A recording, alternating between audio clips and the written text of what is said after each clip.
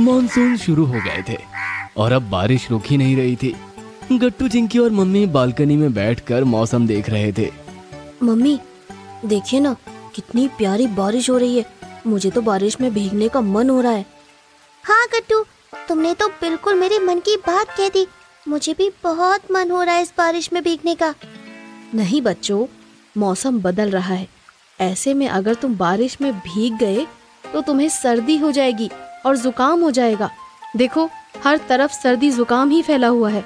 अब आप भी हमारे पसंदीदा टॉयज ऑर्डर कर सकते हैं। www.funtoonkids.com से। Link is in the description अरे मम्मी प्लीज़ ना। बस हम दस मिनट ही भीगेंगे प्लीज़ हाँ मम्मी हम जल्दी से आ जाएँगे। बस दस मिनट में खेलकर। इतनी जल्दी थोड़े ना हमें सर्दी जुकाम होगा। गट्टू चिंकी सिर्फ़ एक मिनट भी काफ़ी है जुकाम होने के लिए। मेरी बात मान जाओ। जिद मत करो। मम्मी गट्टू चिंकी को समझाने की बहुत कोशिश करती हैं लेकिन वो मानते नहीं। वो अपनी जिद मनवा ही लेते हैं और बारिश में भीगने चले जाते हैं। चिंकी मुझे थोड़ी ठंडी लग रही है। हाँ गट्टू मुझे भी कुछ कुछ जुकाम जैसा फील हो रहा है। अरे बाबा कहीं हमें सर्दी तो नहीं हो गई। ऐसे मत बोलो गट्टू मम्मी से बहुत डांट पड़ेगी हमें। अब क्या करेंगे चिंकी? मम्मी तो जान ही जाएँगी ना कि हमें सर्दी जुकाम हो गया है। दोनों आपस में खुसुर पुसुर कर ही रहे थे कि तभी वहाँ मम्मी आ जाती है। क्या बात है गट्टू चिंकी? इतनी धीरे धीरे क्या बातें कर रहे हो? अब अरे अब कुछ नहीं मम्मी अ, कुछ भी तो नहीं। सर्दी जुकाम की वजह से गट्टू का गला खराब हो गया था। और उसकी आवाज़ भारी हो गई थी। जैसे ही उसने मम्मी से बात की मम्मी समझ गई कि उसे जुकाम हो गया है। देखा? मैंने मना किया था ना बारिश में भीगने से। अब हो गई ना सर्दी तुम दोनों को। अब क्या करोगे बताओ? Sorry mummy.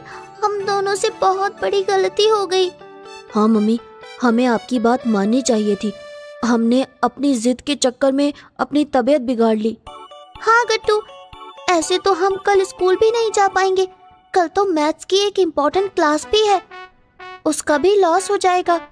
थोड़ी सी देर के मज़े के लिए हमने अपना इतना लॉस करा लिया। अरे अरे बच्चों तुम दोनों इतना भी स्ट्रेस मत लो। मैं हूँ ना? मानते हैं कि तुम दोनों से गलती हो गई है लेकिन अब तुम मुझे प्रॉमिस करो कि आगे से हमेशा मेरा कहना मानोगे। फिर मैं तुम्हें तुम्हारी सर्दी जुकाम का इलाज बताऊँगी। Promise mummy. लेकिन मम्मी अब आप जल्दी से हमें बताइए कि हम क्या करें जिससे हमारी तबीयत ठीक हो जाए। हाँ मम्मी प्लीज़ जल्दी से बताइए ना मुझे बहुत टेंशन हो रही है। बच्चों मैं तुम्हारे लिए अपना सर्दी जुकाम स्पेशल काढ़ा बनाती हूँ जिससे सुबह तक तुम्हारी सर्दी एकदम गायब हो जाएगी। क्या सच में मम्मी? ऐसा भी कोई काढ़ा होता है क्या? और क्या चिंकी? मम्मी है तो सब कुछ पॉसिबल है। मम्मी की बात सुन के गट्टू और चिंकी राहत की सांस लेते हैं। ठीक है मम्मी। फिर देर किस बात की? आप प्लीज़ जल्दी से हमारे लिए अपना स्पेशल काढ़ा बना दीजिए ना। और फिर से सॉरी मम्मी अब हम कभी ऐसे बारिश में भीगने की जिद नहीं करेंगे। कोई बात नहीं गट्टू चिंकी। मुझे खुशी है कि तुम दोनों को अपनी गलती का एहसास हो गया है।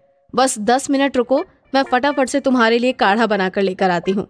इतना कहकर मम्मी किचन में जाती है और अपना स्पेशल काढ़ा बनाने लगती है। थोड़ी देर में काढ़े की खुशबू आने लगती है। मम्मी गट्टू चिंकी को काढ़ा लाकर देती है। देखो बच्चों ये काढ़ा थोड़ा सा कड़वा है लेकिन इससे तुम्हारी सर्दी बहुत जल्दी गायब हो जाएगी। गट्टू चिंकी खराब टेस्ट की बात सुन के थोड़ा घबराते हैं पर वो हिम्मत करके पूरा काढ़ा पी लेते हैं। हम्म, इसका टेस्ट तो अच्छा नहीं है। हम्म, मम्मी लेकिन मैंने अपना जुकाम ठीक करने के लिए इसे पूरा खत्म कर दिया। हाँ मम्मी मैंने भी अपना पूरा काढ़ा खत्म कर दिया। वेरी गुड बच्चों। अब देखना सुबह तक तुम दोनों एकदम फिट एंड फाइन हो जाओगे। बिल्कुल भी टेंशन मत लो और आराम से सो जाओ। मम्मी की बात सुनने के बाद भी गट्टू और चिंकी को टेंशन हो रही थी कि कहीं उन्हें अगले दिन स्कूल मिस ना करना पड़ जाए। वो दोनों लेट कर बातें कर रहे थे। चिंकी तुम्हें क्या लगता है? सुबह तक हमारी तबीयत ठीक हो जाएगी ना? पता नहीं गट्टू लेकिन मुझे मम्मी पे पूरा भरोसा है। अगर उन्होंने कहा है कि उनके स्पेशल काढ़े से हमारी तबीयत ठीक हो जाएगी तो फिर हो ही जाएगी। हाँ चिंकी। चलो फिर इंतज़ार करते हैं मम्मी के काढ़े के मैजिक का। फिर दोनों सो जाते हैं और सुबह सुबह मम्मी दोनों को उठाने आती है।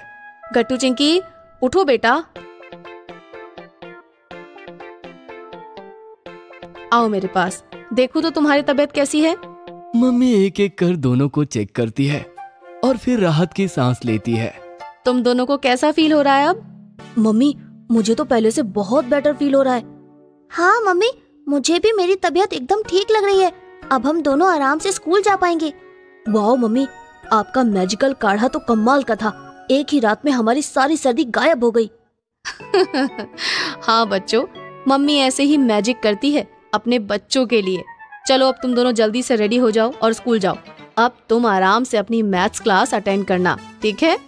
हाँ मम्मी